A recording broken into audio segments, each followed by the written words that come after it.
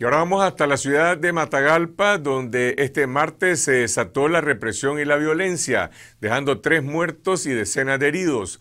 Un día después, en su discurso en el Diálogo Nacional, el presidente Ortega se refirió a estos hechos, alegando que la policía era víctima de los ataques de los manifestantes. Veamos ahora lo que enseñan las imágenes y los testimonios de las víctimas y sus familiares para descubrir quién dice la verdad. Wilfredo Miranda nos cuenta la historia. En Matagalpa anoche hay testigos, la población, los religiosos, testigos de cómo la policía está acuartelada, está acuartelada la policía, y ahí la llegan a atacar, y no la llegan a atacar, no la llegan a atacar con mortero, la llegan a atacar con armas de fuego, utilizando ya fusiles AK. Mientras el presidente Daniel Ortega aseguraba en inauguración del diálogo nacional que no había policías en las calles, en la ciudad de Matagalpa los antimotines seguían desplegados. La violencia se instaló en Matagalpa desde el martes. En un bando, ciudadanos y estudiantes protestando contra el gobierno. En el otro, los policías intimidando y reprimiendo. El enfrentamiento dejó al menos 18 heridos de gravedad y 3 muertos. Ahí vienen los muchachos heridos y muertos, Dios mío. Ay, Dios mío, santo, por Dios. Hubo bastante represión de parte de, de la policía, eh, hubieron también disparos, habían francotiradores en varios lugares de eh, alrededor de la ciudad de Matagalpa, pues hay varios heridos producto de esos disparos de antimotines. Eh, ¿Cuántos heridos ha logrado confirmar el Centro Nicaragüense de Derechos Humanos? Bueno, nosotros tenemos alrededor de 22, pues confirmados con nombre y apellido y dos personas muertas. El jefe supremo de la policía dijo en el diálogo nacional que los oficiales tienen orden de no disparar. No debe seguir corriendo la sangre de hermanos en Nicaragua. Y la policía tiene órdenes, tiene órdenes de no disparar. Tiene órdenes de no disparar. Están atacando con escopetas, son escopetas. Los chavalos andan con... Y pistolas, vean, vean, vean, vean, vean, vean. Sin embargo, en Matagalpa abundan pruebas y testimonios que desmienten al mandatario. Aquí los agentes sí dispararon a los manifestantes.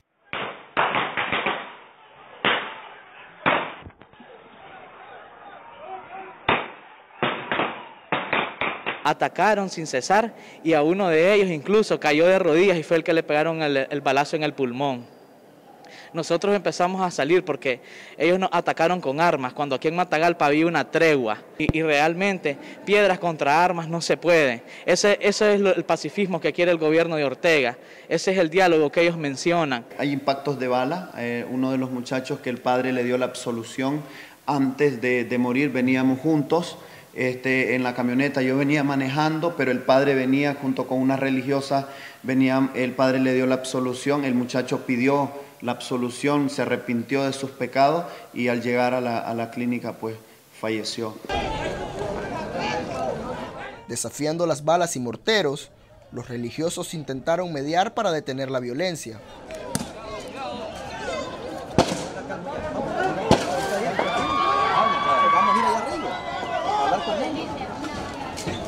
Nosotros nos correspondió estar en la mediación desde la primera, desde el primer momento, pero este, un pueblo enardecido que apoyaba a la juventud, entonces se desbordaron tres barrios y, y, y la gente de los barrios uno no los logra eh, detener. A los jóvenes que han estado autoconvocándose y de pronto han estado viniendo al atrio de la iglesia a protestar, ya uno más o menos los va conociendo, pero a la gente de los barrios uno no los conoce. El Pareócar tratando de calmar todo, pero ellos no quieren nada. Los sacerdotes fueron afectados por las bombas lacrimógenas. Yo le dije al comisionado, ¿por qué mejor no paramos esto? Ustedes evacúen. Y ellos dije, entonces me respondieron, pues no vamos a evacuar nuestro lugar, aquí nos dejaron y aquí vamos a quedarnos. Dice, eso, eso no se, no se está, no se está dialogando, aquí vamos a quedarnos. No quisieron pues ellos retroceder.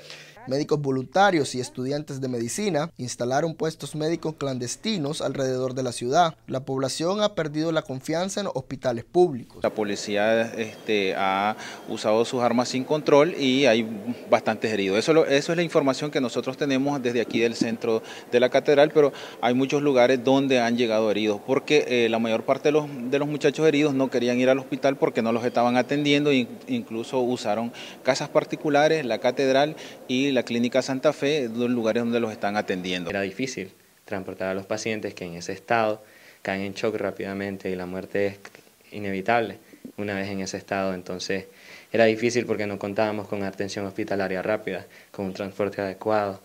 Y pues la verdad es que la ciudadanía se encargó de conseguir el transporte, pero ese tiempo perdido al momento de mover a los pacientes, digamos que fue la causa principal por no poder evitar esas muertes.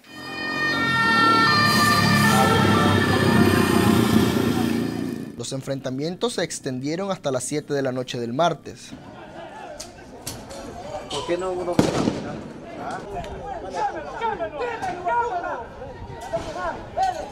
Vivimos un día de terror, parte de la noche también, porque los enfrentamientos aquí empezaron como a las 9 de la mañana. Primero ellos empezaron agarrándose con piedras, los policías y los protestantes, los manifestantes. Pero ya entre más tarde ya eran balas, bombas lagrimógenas. Aquí nosotros no aguantábamos, el niño pequeño y hasta aquí los antimotines, todo esto para arriba. Este, fue horrible, pues cuando escuchábamos los disparos, se escuchaban disparos, yo lo que hice fue tirarme al suelo con el niño, porque si no, no sé qué hubiera pasado. Estamos en el barrio Francisco Moreno, en la ciudad de Matagalpa, donde este martes 15 de mayo, la Policía Nacional abrió fuego contra los manifestantes que estaban en las trincheras. Durante los enfrentamientos, una bala atravesó esta casa y dentro estaba un bebé de 18 meses que, resultó herido. El proyectil le impactó en el mentón. Según sus familiares, los policías llegaron hasta esta calle a atacar a los manifestantes y fue cuando sucedió el trágico desenlace de este bebé que fue operado de urgencia. Estábamos aquí y me dicen que los niños estén siempre acostados, me dice, por, por el peligro que hay, me dice. Entonces se quedó como medio calmito un ratito, mire. Entonces vine yo y empecé a cambiar los pañales al niño, y él, porque el niño estaba dormido, el bebecito estaba dormido en la colchoneta, pero al despertarse y ver el movimiento de nosotros ahí, él salió a, se, fue para donde él a, que lo agarrara. Entonces cuando él lo, agarra, le digo yo, mire, se volvió a prender, le digo yo, cuidado una bala, cuando la bala ahí nomás. El bebé se llama William y permanece en condición crítica en el Hospital Regional de Matagalpa. El presidente Ortega se refirió a este hecho en el diálogo nacional, pero no dijo la verdad. Para empezar, aseguró que se trataba de una niña y no de un varón, y lo atribuyó a un acto de violencia diabólica. Dos muertos ayer en Matagalpa. Dos muertos. Un herido grave. Una niña resultó con un balazo en el cuello. Una niña de un año. Víctima de esa violencia irracional que ha explotado en nuestro país, de esa violencia diabólica que ha explotado en nuestro país. Los medios televisivos de la familia presidencial, como el Canal 4, aseguraron que el disparo provino del lado de los manifestantes, quienes habrían usado un arma hechiza. Sin embargo, el padrastro del bebé rechaza la versión oficialista. Estábamos aquí cuando se armó una balacera, ¿va? Y entonces yo le dije a los niños que se acostaran aquí. Pero como yo ando parado, el niño más pequeñito se arrimó de mientras yo lo agarré chineado. De repente, oí, y entonces le digo yo a la chila, no fregué, me tiraron. Y, me fijo, y cuando ya le miré el balazo al, niño en, la quijada, aquí le entró y le quedó aquí la bala. ¿Me entendés? Mientras que el otro estaba ahí y, se armó. Pues entonces dice, bueno, ahí porque voy a llamar una ambulancia. No, le digo, voy a salirme con este niño y me fui, ahí a media balacera, pues. Pero lo que quiero que sí que quede claro es que, mira, yo fui militar siete años Anduve en la contra siete años y por lo menos me especialicé en, artillería y sé que esta bala no es una, bala hechiza, esta bala es una bala de AK. Y conforme a la dirección que tiene, eh, fue disparada por la policía. Los familiares rechazan con indignación la manipulación de los medios oficialistas. Yo esperaba, ¿verdad?, que, se tocaran ese lado humano y, y no distorsionaran las cosas, ¿verdad? Porque todos sabemos que es el primer bebé herido de, de esa manera, tan pequeñito, ¿verdad? Y que no distorsionaran las cosas. Porque aquí está claro, creo que hasta un ciego vería, ¿verdad? Que esa, esa bala no puede ser de un arma hechiza. Sería, sería digamos, que tiene magia esa, esa, esa bala para que entrara, rompiera la pared y de, y de paso le entrara al bebé. Creo que no, debería, no deberíamos de estar tan ciegos. No deberíamos de... Canal 4. Canal 4 y pues me estoy indignada, estoy indignada. Porque como dicen, no hay que creer todo lo que sale en Facebook, ¿verdad? Pero definitivamente se aprovechan. Los familiares también solicitaron al director del hospital de Matagalpa la bala como prueba. Sin embargo, el doctor Henry Dávila se negó a entregarla. Y lo operaron. Y la bala no me la quiso entregar el doctor, el médico. Los médicos no me la quisieron dar porque yo sé sí que era de acá. ¿Qué le dijeron los médicos? Que eso se lo iban a entregar a la policía porque había una ley y esa ley se había que respetar. El corazón de uno ya no aguanta. Hay mucho dolor, ya hay mucha, hay muchas cosas, ya, ya le dice la gente, fomentan el odio. ¿Cuál odio? Si es que uno ya su corazón ya no, ya no tiene, ya no tiene lugar para más, ya uno no quiere nada, ya a veces no quiere ni vivir uno de tantas cosas que hay.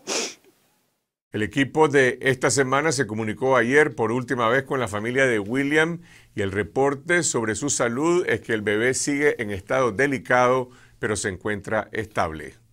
Vamos a una pausa y regresamos con las noticias satíricas en la última mirada news.